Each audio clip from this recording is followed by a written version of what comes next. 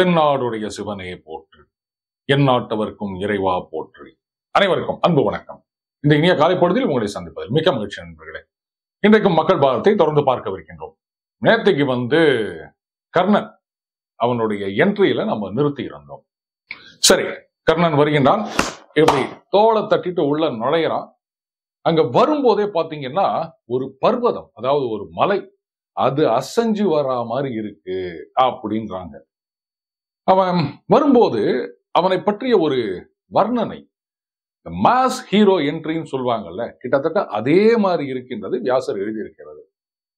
சொல்லப்போனா கர்ணனை பத்தி ஏற்கனவே ரெஃபரன்ஸ் வந்தாச்சு மகாபாரதத்துல. ஆனால் இந்த இடத்துல தான் வந்து ஆசிஃப் அந்த கேரக்டர் உள்ள நுழையிற மாதிரி அப்படி ஒரு வர்ணனை இருக்கின்றது. அதாவது கர்ணன் வந்து அந்த மலை நடந்து வரா மாதிரி வரான் அப்படின்றது ஒரு விஷயம். அடுத்த வரியில பாத்தீங்கன்னா சூரியனை போன்ற ஒளியும் சரி சூரியனோட புள்ள தானே அவனோட ஒளி இல்லாம இருக்குமா? அதே சமயத்துல குளிர்ச்சியில் சந்திரனை போலவும் வீரத்தில் ஒரு ரிஷபத்தை போலவும் பலத்துல ஒரு யானையை போலவும் எல்லாரையும் அடக்குவதில் ஒரு சிம்ஹத்தை போல அப்படி ஜொலிக்கிறதுல அக்னி மாதிரி இருந்தான் ஒரு பொற்பனை பனைமரம் நம்ம எல்லாருக்கும் தெரியும். பொன்னாலான பனை மரம் எப்படி இருக்கும்? அந்த மாதிரி அவன் நடந்து வந்தான். அப்படி குறிப்பிடப்பட்டுள்ளது மகாபாரதத்தில். அது ஏன் பனைமரம் அப்படின்னா அப்பதான் எனக்கு ஞாபகம் வந்தது சிக்ஸ் பேக்ஸ் ஏன்னா பனைமரம் எல்லாமே அப்படி பேக் பேக்கா தான் இருக்கும் இல்லையா? சோ அதனால அதை பொற்பனைன்னு சொல்லியிருக்கார் அப்படின்னு நினைக்கிறேன். வந்தவன் அப்படியே சுத்து முத்தும் பார்க்கறான். எல்லாரும் அவனை பார்க்கிறார்கள். இந்த பக்கம் வித்துரர் இருக்கார் அஹ் திருதராஷன் பக்கத்துல காந்தாரி குந்தி இந்த பக்கம் உட்கார்ந்துட்டு இருக்காங்க துரியோதனனுக்கு கர்ணனை பார்த்த உடனே உள்ளுக்குள்ள ஒரு சந்தோஷம். ஆ வந்துட்டான்டா நம்மாளு அப்படின்னு. ஏன்னா ஏற்கனவே ரெண்டு பேரும் ஒன்னா பயிற்சி பெற்று இருக்கிறார்கள் அப்போ வந்து ரெண்டு பேரும் ஏற்கனவே சிநேகிதத்தில் தான் இருக்கிறாங்க. இது வந்து ஃபர்ஸ்ட் இன்ட்ரோ கிடையாது. இந்த பக்கம் பாண்டவர்கள் அஞ்சு பேர் அவங்களும் பார்க்கறாங்க. துரோணாச்சாரியார் கிருபர் அஸ்வத்தாமன் பீஷ்மர் விதுரர் எல்லாரும் பார்க்கறாங்க. அந்த கர்ணன் உள்ள வருவதை. வந்த உடனே மொத வார்த்தையே அதுதான் சொல்றான். அர்ஜுனா அடங்கு. ரொம்ப ஓவரா கர்வத்துல ஆடாத. நீ என்னவெல்லாம் செஞ்சியோ அதுக்கு மேல செஞ்சு காமிக்கிறதுக்காகத்தான் நான் இங்க வந்திருக்கேன் அப்படின்றான். இத கேட்ட உடனே அங்க இத பாக்குறதுக்கு வந்திருந்தாங்க பாருங்க பொதுஜனம். அப்படியே எல்லாரும் ஒரே நேரத்துல எழுந்துக்கினாங்களாம். அது வரைக்கும் உக்காந்துட்டு இருந்தாங்க. ஒரே நேரத்தில் எழுந்து கொண்டார்கள். இதை எப்படி கூறுகின்றது மகாபாரதம் அப்படின்னா எந்திரத்தினால் தூக்கியது போல. எந்திரம் அப்படின்னா மெஷின் நம்ம எல்லாருக்கும் தெரியும். சுவிட்ச் போட்ட உடனே அப்படியே டகால் எழுந்துக்கிச்சு பார் அப்படின்னு சொல்றோம் இல்லையா? அந்த மாதிரி எந்திரத்தினால் தூக்கியது போல அத்தனை பேரும் ஒரே நேரத்தில் எழுந்தனர் அப்படின்னு வியாசர் எழுதுகின்றார். அப்ப என்ன அர்த்தம்? எந்திரங்கள் அன்றைக்கு சர்வசாதாரணமாக உபயோகத்தில் இருந்தன. அப்ப சயின்ஸ் அண்ட் டெக்னாலஜி அந்த காலத்துல உச்சத்துல இருந்தது அப்படின்றதுக்கு இதை விட வேற என்ன உதாரணம் வேணும் நண்பர்களே? மந்திரத்தினால் அப்படி எழுதல. எந்திரத்தினால் எழுதுறாரு வியாசர். அப்ப எந்திரங்கள் அன்றைக்கு இருந்திருக்குன்னு தானே அர்த்தம். அதுக்கப்புறம் கர்ணன் என்ன பண்றான்? நேரா துரோணர் கிருபர் அவங்க கிட்ட போயிட்டு அவர்களுக்கு வணக்கம் செலுத்துகிறான். அலட்சியமாக வணக்கம் செலுத்துகிறான் அப்படின்னு வியாசர் எழுதுறார். இப்போ ஒரு கேள்வி வரலாம். துரோணாச்சாரியார் இவனுக்கும் அவர் தானே குரு. அப்புறம் என்ன அலட்சியம் வேண்டி கிடக்குது? ஒருவேளை கர்வம் வந்துச்சா? நான் இவ்வளவு கத்துக்கின பாரு குரு அமைஞ்சின சிஷ்யம் ஆயிட்டான் அவன்? எதற்காக அலட்சியமாக வணக்கம் சொல்ல வேண்டும்? ஏன்னா கர்ணன் வந்து அடிப்படையிலேயே குருவை மதிக்காதவன் கிடையாது. பின்னாடி பார்க்க போறோம். பரசுராமர் கிட்ட கத்துக்க போகும்போது அவர் வந்து ஒரு சமயத்துல இவனோட தொடையில தலை வச்சு தூங்குறாரு. அப்போ ஒரு வண்டு இவன் கர்ணனோட தொடையில வந்து அப்படியே கடிக்குது. இவன் ஐயோ அசஞ்சா குருவோட தூக்கம் கலைஞ்சிருமே அப்படின்னு சொல்லிட்டு அந்த வலியை பொறுத்துட்டு இருக்கான். தொடைய தொலைச்சி போகுதுன்னு சொல்றாங்க. அந்த ரத்தத்தை பார்த்து பரசுராமர் எழுதுகிறார். அந்த அளவுக்கு குரு மீது பக்தியும் மரியாதையும் வைத்திருப்பவன் கர்ணன். ஆனா இங்க அந்த துரோணாச்சாரியார் மேல ஏன் அது இல்லாமல் போயிற்று? அப்படின்னா இந்த டேலண்ட் ஷோலயே நடந்த இன்னொரு இன்சிடென்ட் உதாரணம். எல்லாம் அவங்களுடைய டேலண்டா காமிச்சிட்டாங்க. அப்ப கடைசியா அர்ஜுனனை இன்ட்ரோடியூஸ் பண்ண போறார் துரோணர். அப்ப அவர் என்ன சொல்லி இன்ட்ரோடியூஸ் பண்றாருன்னா என்னுடைய மகனுக்கும் மேலாய் என்னுடன் நட்பானவன் அப்படின்னு சொல்றாரு. எல்லா வித்தையும் கத்தவன் வீரன் சூரன் அப்படின்னு சொல்லி அர்ஜுனனை சபையோருக்கு அறிமுகப்படுத்துகின்றார். இது ஒருவேளை கர்ணனுக்கு ஒரு எரிச்சலை ஏற்படுத்தி இருக்கலாம். ஒரு வாத்தியார்னா எல்லா ஸ்டூடெண்ட் கிட்டையும் ஒன்னா இருக்கணும். என்ன இவனை மட்டும் வந்து வீராதி வீரன் சூராதி சூரன் அப்படின்னு சொல்லி நிற்கிறீங்க அதுவும் மகனுக்கும் மேலாய் அப்படின்னு வேற சொல்லிட்டாரு. அப்போ நீங்க வந்து இம்பார்ஷியலா இல்லை. எப்போ ஒரு சார்பு நிலை எடுத்து விட்டீர்களோ ஆ அத்தோட போக வேண்டியதுதான். இப்படி ஒருவேளை அவன் முடிவு செய்திருக்கலாம். சோ குருவுக்கு அலட்சியமாக ஒரு வணக்கத்தை சொல்லிவிட்டு தன்னுடைய வில் அந்த ஆயுதங்களை எல்லாம் எடுத்துக்கொண்டு அர்ஜுனன் என்ன செஞ்சானோ அத்தனையும் இவனும் செய்து காமிக்கின்றான் கர்ணன். அப்படியே கரகோஷம் வானை புழக்கிறது அதுக்கப்புறம் கர்ணனை துரியோதனன் கட்டி தழுவி கொள்கிறான். சொல்றான் இவர் என்னுடைய ராஜ்யம் அது உன்னோடது. என்ன வேணுமோ நீ சொல்லு நான் செய்யறேன் அப்படின்றான். அப்ப கர்ணன் சொல்றான் இல்ல இல்ல நீ ஏற்கனவே எனக்கு நிறைய செஞ்சுட்டதா நான் நினைக்கிறேன். உன்னுடைய நட்பு மட்டுமே போதும்னு கர்ணன் சொல்றான். நண்பண்டா அப்படின்னு மறுபடியும் கட்டி தழுவி கொள்கிறான் துரியோதனன். இந்த பக்கம் அர்ஜுனனுக்கு அப்படியே பொறாமையில பொங்கிட்டு இருக்காம நாம வந்து இருக்கிறதுலயே வீராதி வீரன் சூராதி சூரன்னு வாத்தியாரே வந்து சொல்லிட்டு போயிட்டாரு. ஆனா நமக்கு மேல ஒருத்தன் வாத்தியார் மாதிரி வந்து வேலை காமிச்சிட்டு போறானே அப்படின்னு குமரிட்டு இருக்கான். இந்த நேரம் பார்த்து கர்ணன் என்ன பண்றான்? துரியோதனன் கிட்ட துரியோதனா இந்த பையன் அர்ஜுனன் இருக்கான் பாரு. அவனோட தொந்த யுத்தம் செய்ய வேண்டும் நான் அப்படின்றான். துரியோதன அதுக்கு என்ன கலக்கு? அப்படின்னா துரியோதனனுக்கு என்னன்னா நம்மளத்தான் இவனை தோக்கடிக்க முடியல. ஆனா சோகா நம்ம கிட்ட ஒருத்தன் வந்துக்கிறான் நண்பேண்டா. ஆஹ் நீ கலக்கு நண்பா அப்படின்னு அமுச்சு வைக்கிறான். அங்க போயிட்டு அர்ஜுனா உன்னுடன் நான் தொத்த யுத்தம் செய்ய வேண்டும் அப்படின்ன உடனே அர்ஜுனனுக்கு இது ஒரு நல்ல வாய்ப்பு.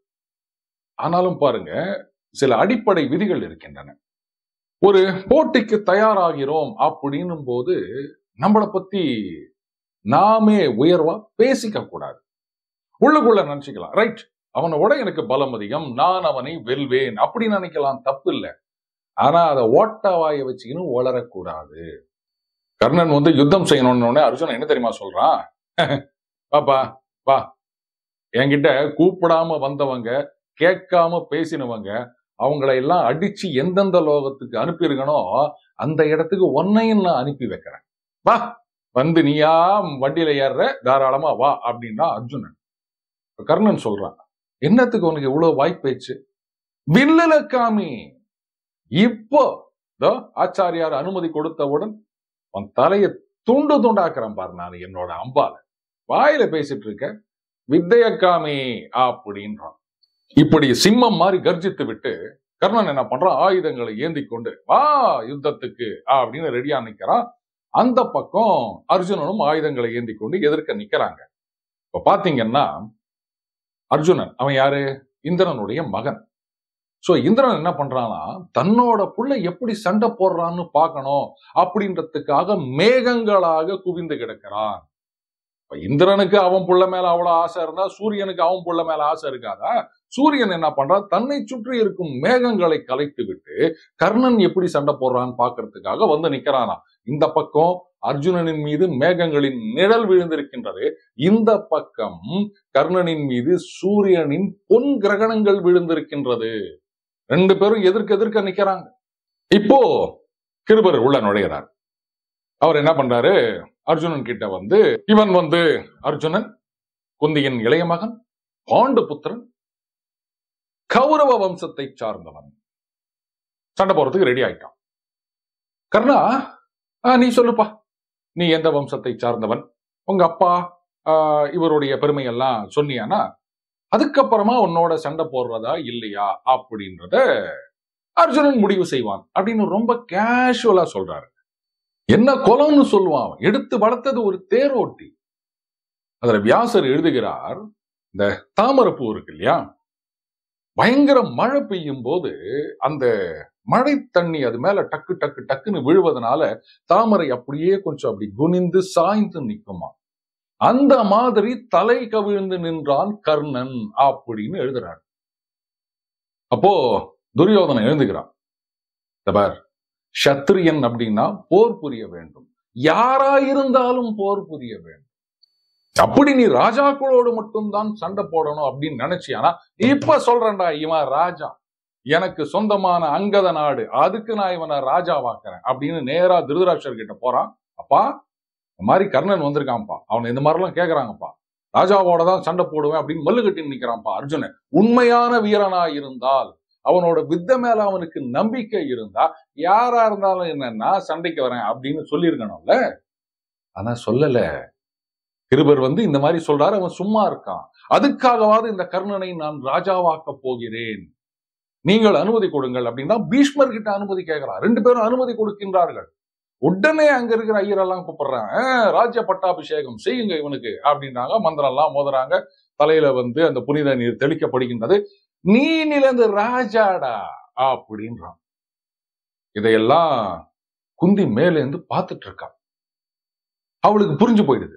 இந்த கவச்சம் குண்டலம் இதெல்லாம் பார்த்த உடனே யாரா இது அப்படின்னு ஐடென்டிஃபை பண்ணிடுறான். ஒரு பக்கம் மிகப்பெரிய சந்தோஷம். எத்தனை வருஷத்துக்கு அப்புறம் பார்க்கறா தன்னுடைய மகனை? இருக்கானா செத்தானான்னு கூட தெரியாது. அப்படியே அந்த குழந்தைய அப்படியே ஆத்தோட விட்டுட்டான்.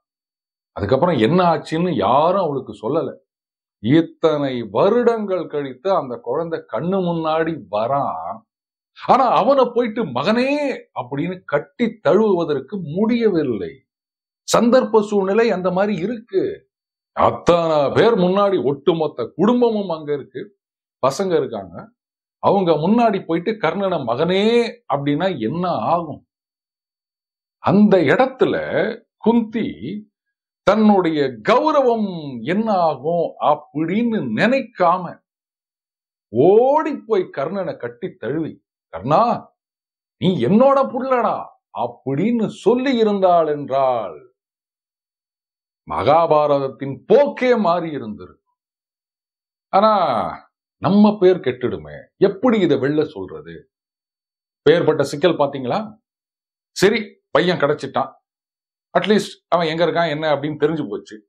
அதுக்கப்புறம் அவனை தனியா போய் பார்த்துட்டு வரலாம் அப்படின்னா மொத இன்ட்ரோவே இவனுக்கும் அவனுக்கும் மிகப்பெரிய பகை.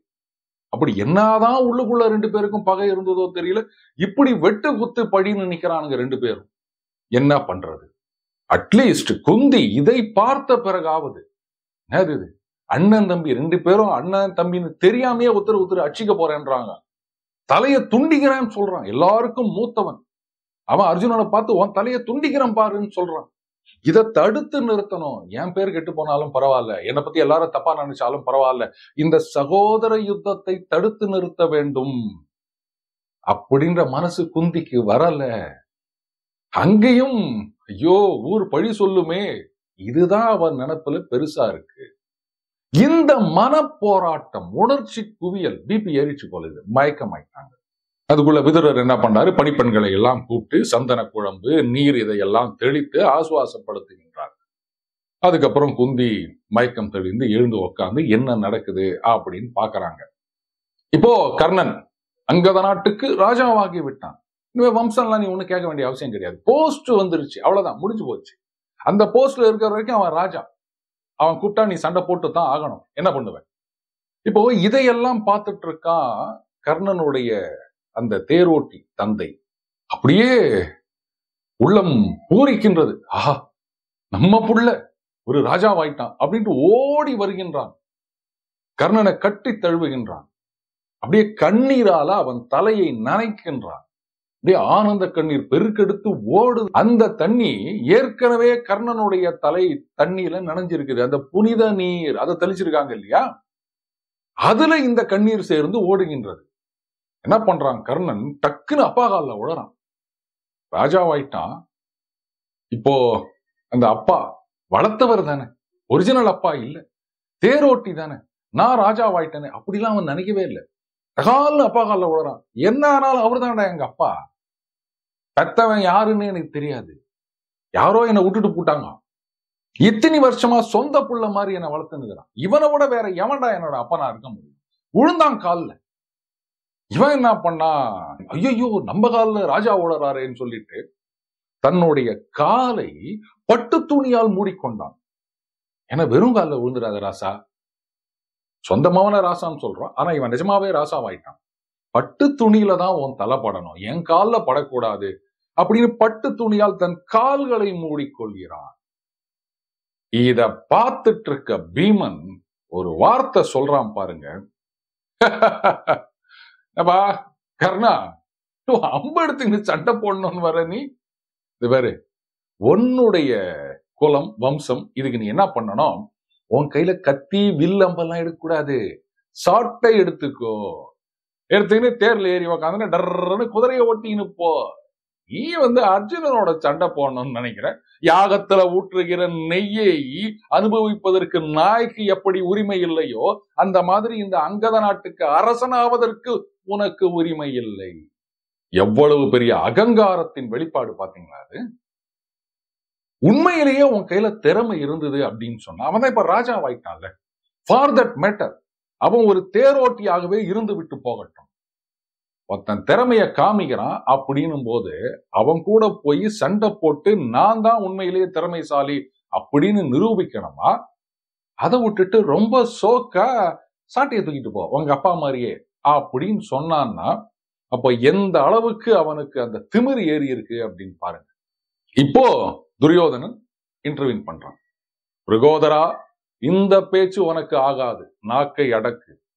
எப்படி நதி மூலத்தை பார்க்க கூடாதோ அந்த மாதிரி வீரர்களது மூலத்தையும் பார்க்க கூடாதுன்னு உனக்கு தெரியாதா? ராஜானா யாருன்னு நினைச்சிட்டு இருக்க? நல்ல வம்சத்தில் பிறந்தவன் வீரன் படைகளை வழிநடத்தி செல்லும் தலைவன். இவங்க மூணு பேருமே ராஜா தான்டா சத்திரியர்கள் வந்து பிராமணனா மாறியர்களை நீ பார்க்கலையா? விஸ்வாமித்திரர் சத்திரியர் தானே? அவர் பிராமணனாக மாறவில்லையா? தாவர ஜங்கமம் எல்லாவற்றிலும் உறைந்திருக்கும் அக்னி அது ஜலத்திலிருந்து உருவாகின்றது. துரோணர் பாத்திரத்துல பிறந்தார். கிருபர் நாணர்கட்டையில் பிறந்தார். பகவான் என்றும் தேவன் என்றும் எல்லா ரகசியங்களின் நிதி என்றும் நாம் சொல்கிறோமே சுப்பிரமணியர். அவர் நெருப்பிலே பிறந்தார்னு சொல்றோம். கிருத்திகையில் பிறந்தார் என்று சொல்கிறோம். கங்கா புத்திரன் என்று சொல்கிறோம். ஒரு மான் புலி குட்டி போடுமா? எவ்வளவு தேஜஸுடன் அங்க லட்சணங்களுடன் வந்து நிற்கிறான் இந்த கர்ணன். அவனை போய் நீ இந்த மாதிரி பேசுற? இதுக்குள்ள சூரியன் அஸ்தமனமாகின்றது. துரியோதனன் கர்ணனோட கையை பிடித்து இழுத்துக்கொண்டு தனது வீட்டிற்கு செல்கிறான். அன்னாட பக்கம் பாண்டவர்கள் பீஷ்மர் கிருபர் இவங்களோட அவங்க அவங்க வீட்டுக்கு போறாங்க. மீண்டும் அடுத்த பதில் எழுந்திருப்போம் வணக்கம்.